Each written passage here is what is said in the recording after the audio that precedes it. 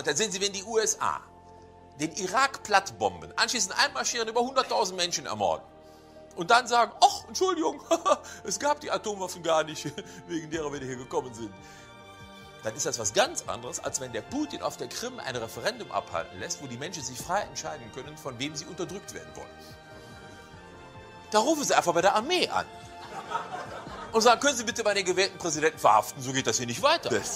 Und wenn Sie dumm daneben stehen, dann sind Sie ein Kollateralschaden. In diesen Zeiten lernen wir sehr viel über Demokratie im Allgemeinen. Sie müssen auch mal die größeren Zusammenhänge sehen. Unsere Politiker denken sich da schon was bei. In diesen Zeiten lernen wir sehr viel über Demokratie im Allgemeinen. Nehmen Sie mal den arabischen Frühling zum Beispiel. Da waren ja erst alle ganz begeistert. Arabischer Frühling, schaut es euch an. Die Araber haben begriffen, Demokratie ist das Beste. Sie jagen die Diktatoren ins Meer. Herrliche Bilder. Als die ersten hinterher sprangen, um zu uns rüber zu schwimmen, ließ die Begeisterung schon etwas nach. Ich meine, wir Deutsche sind die Ersten, die wissen, wie schön das ist, wenn Mauern fallen. Aber wir haben ja auch erlebt, wenn da alles über die Trümmer geklettert kommt.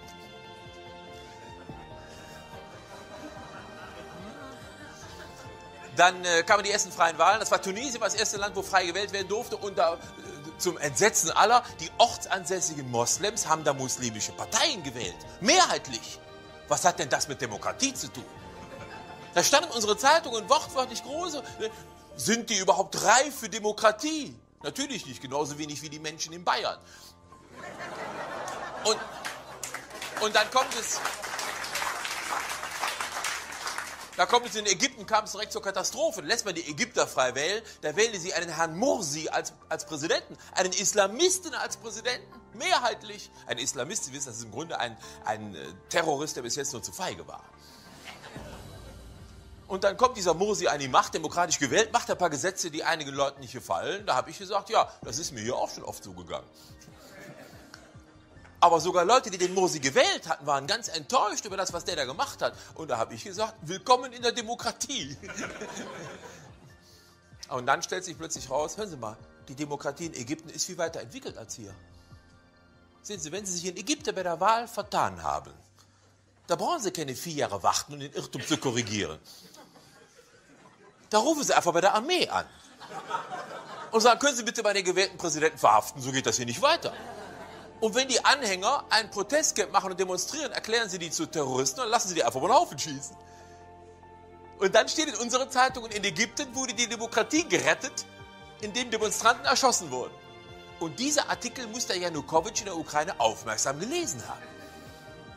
Aber als er das danach gemacht hat und die, die randalierenden Demonstranten in der Ukraine zu Terroristen erklärt hat und abknallen lassen, da, da war es dann wieder falsch. Da muss einmal erstmal einer erklären, wo man es darf, wo nicht. Der, der, der, Kohl hätte gesagt, der Mob der Straße hatte der Demokratie nichts zu sagen. Und, und was ein aufrechter Demonstrant ist und was ein Mob ist, das entscheidet im Zweifelsfall die Bildzeitung. Man muss eben die Unterschiede kennen, meine Damen und Herren. Sehen Sie, wenn die USA den Irak plattbomben, anschließend einmarschieren, über 100.000 Menschen ermorden und dann sagen, ach, Entschuldigung, es gab die Atomwaffen gar nicht, wegen derer wir hier gekommen sind, dann ist das was ganz anderes, als wenn der Putin auf der Krim ein Referendum abhalten lässt, wo die Menschen sich frei entscheiden können, von wem sie unterdrückt werden wollen. Das eine,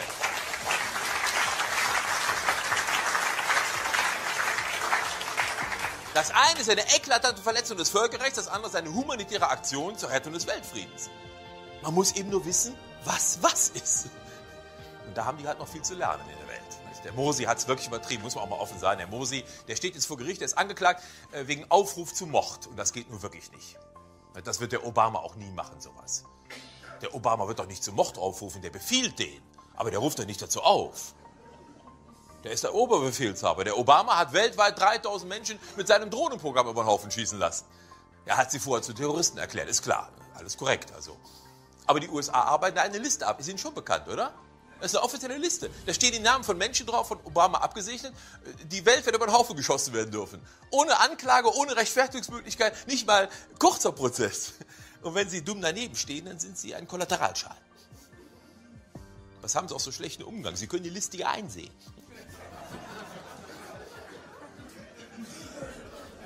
Jetzt stellen Sie mal vor, der Assad in Syrien würde so eine Liste aufstellen und anfangen, weltweit Menschen umzubringen, die ihm gefährlich werden könnten. Da wäre die Weltöffentlichkeit außer sich. Das darf der überhaupt nicht. Der hat doch gar keinen Friedensnobelpreis.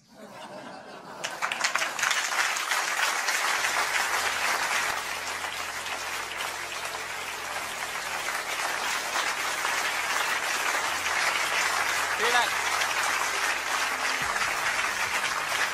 Danke sehr. Laufe des Abends werden Sie merken, dass dieses Jahr eine ganze Reihe von Preisträgern aus der Schweiz und Preisträgerinnen aus der Schweiz dabei sind. Und da muss ich mal dazu sagen, äh, das ist natürlich purer Zufall, denn sowas kann man ja nicht steuern. Ein bisschen, äh, ein bisschen muss die Schweiz allerdings unterstützt werden in diesen schweren Zeiten, das sehe ich auch so. Weil die, Schweiz ist schwer unter Druck. Äh, Das Schweizer Bankgeheimnis ist inzwischen fast so löchrig wie der Käse, den sie herstellen. Und die, eine Schweizer Großbank muss jetzt sogar Strafe zahlen in Deutschland wegen Beihilfe zur Steuerhinterziehung. Das ist ganz gruselig. Alte Freunde der Schweiz wie Alice Schwarzer und Uli Hoeneß haben dem Land den Rücken gekehrt. Und, äh, das hätte einem vor ein paar Jahren auch keiner geglaubt, dass diese Kampfemanze und der Obermacho mal in einem Boot sitzen würden, oder? Alice Schwarzer.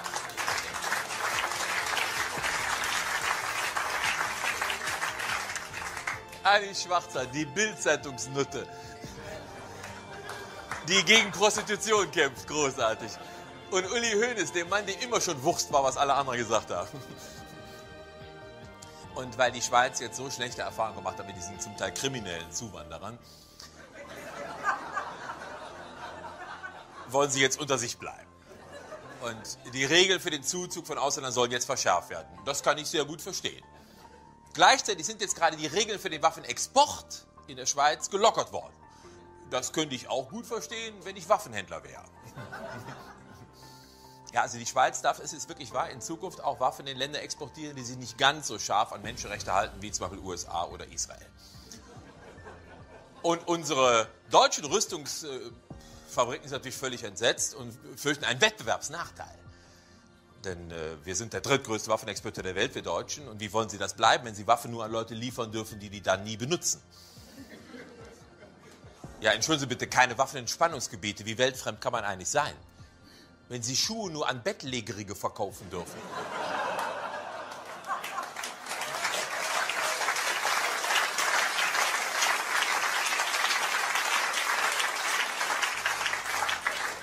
Das sind ja auch Arbeitsplätze bei uns, das darf man auch nicht vergessen. Tausende von glücklichen Familien leben davon, dass wir äh, Rüstung exportieren. Und äh, sehen Sie es doch mal so, jeder Afrikaner, der im Bürgerkrieg in Afrika mit einer deutschen Waffe über den Haufen geschossen wird, den müssen wir schon nicht von Lampedusa aus dem Wasser fischen. Sie müssen auch mal die größeren Zusammenhänge sehen. Unsere Politiker denken sich da schon was bei. Und wir liefern nicht nur Waffen. Das wissen die wenigsten. Wir liefern auch Prothesen. Deutschland ist einer der Top-Anbieter von Prothesen. Weltweit, das sind doch Systemangebote, die wir da machen.